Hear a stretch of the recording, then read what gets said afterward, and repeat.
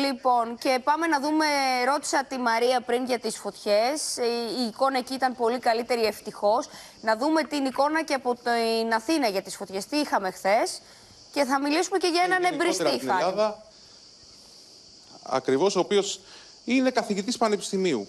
Ε, το ακούσαμε και αυτό. Καθηγητής πανεπιστημίου, ε, διδάκτορ κοινωνιολογίας να βάζει φωτιές. Έχει συλληφθεί ο άνθρωπος αυτός. Γενικώς, χθες είχαμε πάλι. ήταν μια σχετικά εύκολη μέρα από την άποψη του χάρτη πρόβλεψης κινδύνου, διότι ήταν στο κίτρινο η χώρα. Παρά τα αυτά, είχαμε 30 αγροτοδασικέ πυρκαγιές. 28 αντιμετωπίστηκαν άμεσα. Σήμερα είναι λίγο πιο επικίνδυνα τα πράγματα, ειδικά σε κάποια νησιά του Ανατολικού Αιγαίου. Είναι στο Πορτοκαλί. Χρειάζεται εκεί πέρα μια εκρήγορση. Ε, τα υπόλοιπα στη χώρα είναι εκεί στο κίτρινο, δηλαδή υψηλό κίνδυνο, όχι πολύ υψηλό.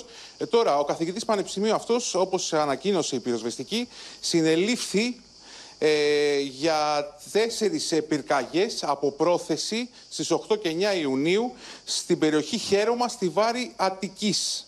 Θυμόμαστε, είναι πριν από λίγες μέρες εκείνη η φωτιά στη Βάρη που είχε ξεσπάσει η φάνη μου για να εξηγήσουμε και στον κόσμο. Ε, Χρήστον, θυμάσαι εκείνη τη φωτιά που είχε ξεσπάσει και τώρα φαίνεται ότι ο καθηγητής ευθύνεται σε αυτήν και δεν είναι για τη μοναδική, γιατί έχει ομολογήσει και άλλες, Φάνη.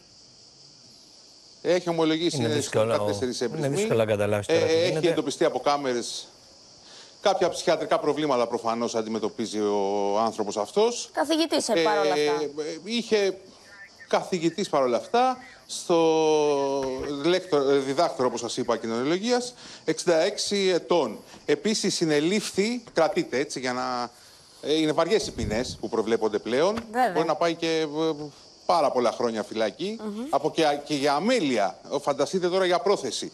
Και έχει συλληφθεί κι άλλος ένας, η Μεδαπός, για τρεις πυρκαγιές στην ε, περιοχή της Μαγούλας, στο Δήμο Ελευσίνας, στην Αττική.